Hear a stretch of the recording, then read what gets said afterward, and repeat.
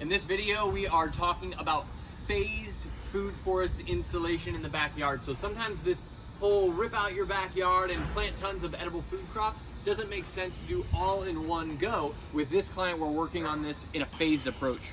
Right off of the back porch, we've killed the grass and planted a lot of perennial herbs. We've got things like chives and thyme here. We've also left space for the client to plant annual herbs like this basil.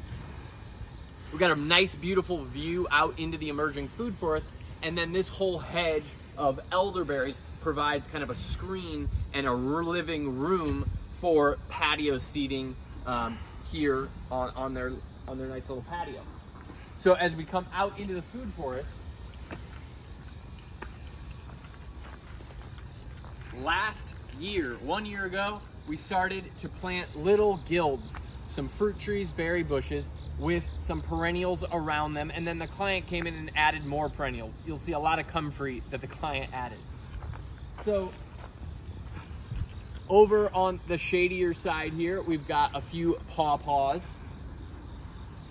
Then here in the middle, we've got some currants and gooseberries with a hybrid persimmon here in the in the middle to serve as a centerpiece. Over here off to the side, we've got a cherry and then there in the back, we have an apple and a serviceberry. What we're doing today is we can come in and look at these lines. We've spray painted these lines. We're expanding the food forest so that lots more perennial vegetables, herbs, and flowers can be planted. So what we're gonna be just coming in and doing is sheet mulching the grass that is around all these plantings. So we're gonna bring in cardboard and wood mulch, and simply by putting the cardboard and mulch here, there's gonna be tons more room for all those perennials that the client themselves wants to plant next spring because we're in the fall right now. So six months from now come spring, the grass will be dead. Client can go to the nursery or grow out all their own favorite perennials like these things that we see here.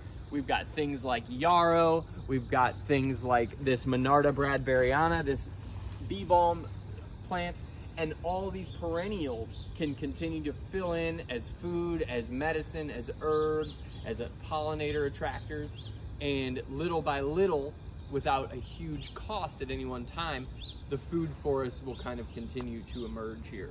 So keep in mind a phased approach if you're wanting to ultimately have way less grass and lots of food in your yard.